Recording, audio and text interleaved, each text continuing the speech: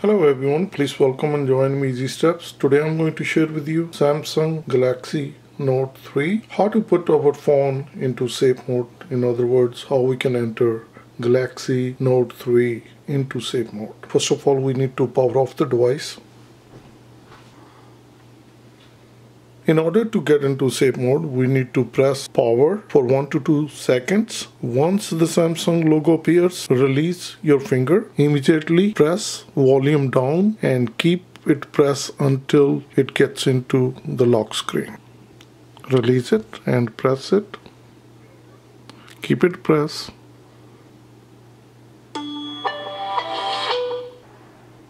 Okay.